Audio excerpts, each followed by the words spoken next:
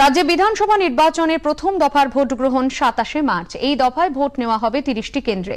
প্রথম দফার ভোটের আগে আজ শেষ রবিবার। নির্বাচনী প্রচারে সরগরম এখন রাজ্য।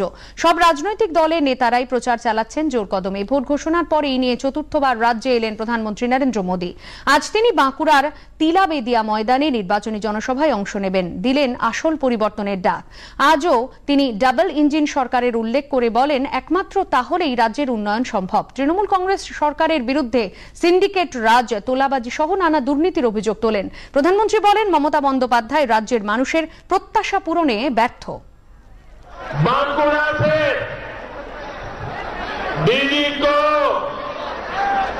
कुछ बातें साफ साफ कहना चाहता हूं पहली ये कि मैं तस्वीर हमेशा देश के 130 करोड़ नागरिकों की सेवा में झुक करके रखता हूँ, झुका करके रखता हूँ, नमन कर करके नहीं रखता।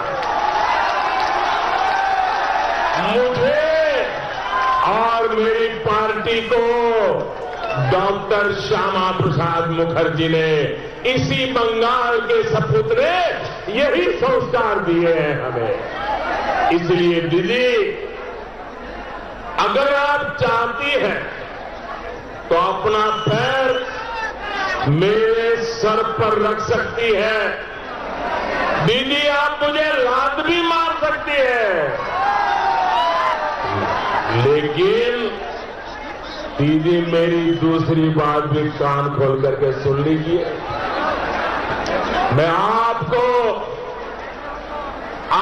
आपको बंगाल के विकास को लात नहीं मारने दूँगा।